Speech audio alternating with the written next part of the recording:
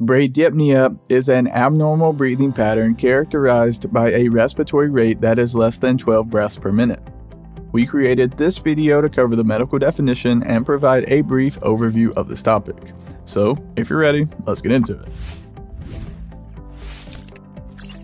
Breathing is a natural process of life that, of course, is a requirement for survival.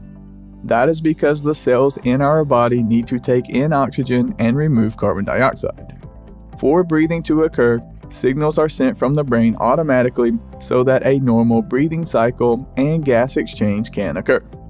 However, as previously mentioned, when breathing occurs at a slower rate than normal, it is referred to as bradypnea.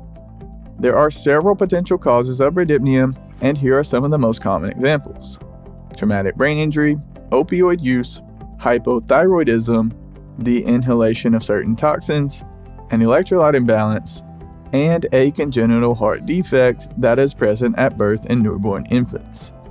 The treatment method for bradypnea really depends on the underlying causes and can vary from patient to patient.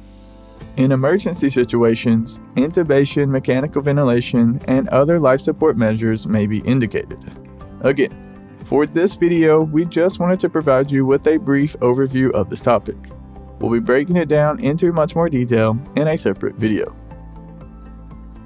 Real quick guys, do me a huge favor and hit the like button. It really helps support the channel and I greatly, greatly appreciate it. And while you're down there, go ahead and click the subscribe button as well because we have a ton of other videos on our channel that I think you will enjoy. Just a quick reminder, we are not doctors, this video is for educational and informational purposes only. And if you want to dive deeper and learn more about this topic, you can go to respiratorytherapyzone.com where we have a ton of free study guides, practice questions, and other helpful resources. I'll drop links to everything you need right below this video down in the description. Thank you so much for watching all the way to the end. Have a blessed day, and as always, breathe easy, my friend.